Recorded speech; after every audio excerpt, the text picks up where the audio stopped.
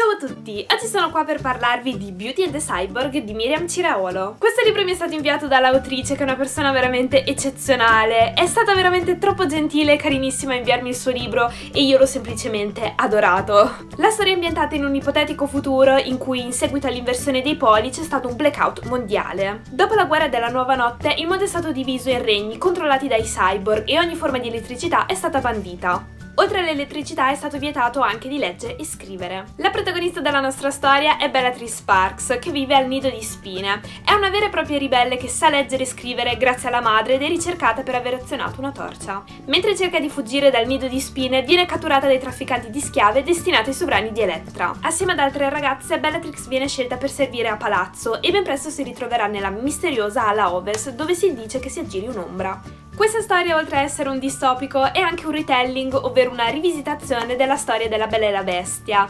È un libro veramente super emozionante, pieno di avventura, di misteri, di azione, Wow! Tra l'altro io non ho letto tanti retelling, ma questo secondo me è uno dei migliori perché nonostante si faccia a una storia che tutti noi ormai di sicuro conosciamo, come appunto La Bella e la Bestia, è una storia secondo me totalmente originale. Non c'è niente di scontato in questa storia, né di banale. I riferimenti alla storia originale sono veramente eccezionali perché appunto il lettore si perde in questa storia praticamente nuova e ogni tanto coglie dei riferimenti appunto alla storia invece che già conosce. I personaggi sono veramente fantastici perché sono tutti molto interessanti, molto veri, molto sfaccettati la protagonista Bellatrix mi è piaciuta veramente tanto ed è una cosa molto rara in questo genere di libro perché io di solito odio tutte le protagoniste perché le trovo un po' tutte uguali, un po' finte, mentre Bella mi è piaciuta veramente tantissimo. È una ragazza forte, intelligente, indipendente,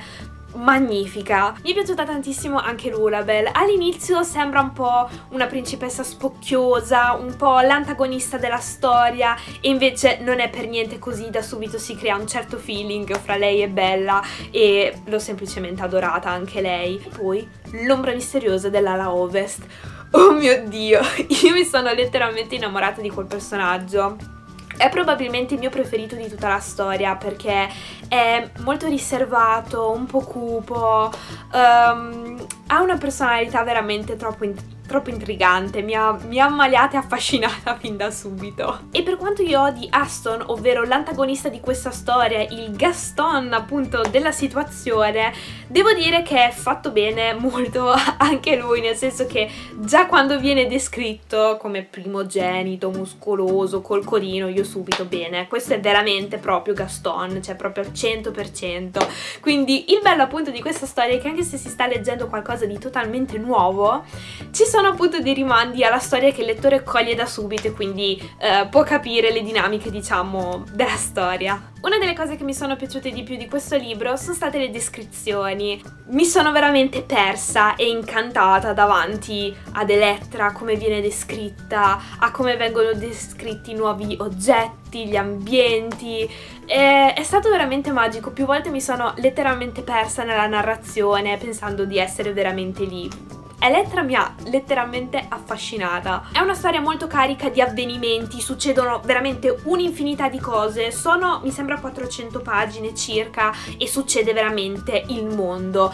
A volte dell'unica cosa un pochettino negativa che ho trovato non stavo capendo che caspita stesse succedendo, ma semplicemente perché era un susseguirsi di cose, di eventi e io non riuscivo a starci dietro, ma per il resto è veramente una storia magnifica, eccezionale come vi ho detto, uno dei migliori retelling che io abbia mai letto perché anche se si rifà una storia già esistente, per me è stato come leggere una storia nuovissima. Io poi amo il genere distopico, mi piace anche quando viene inserito uh, qualche elemento diciamo fantascientifico perché alla fine ci sono un sacco di nuove tecnologie, si parla anche di cyborg, quindi di persone metà macchina, metà umani e da una parte veramente terrificante e dall'altra affascinante.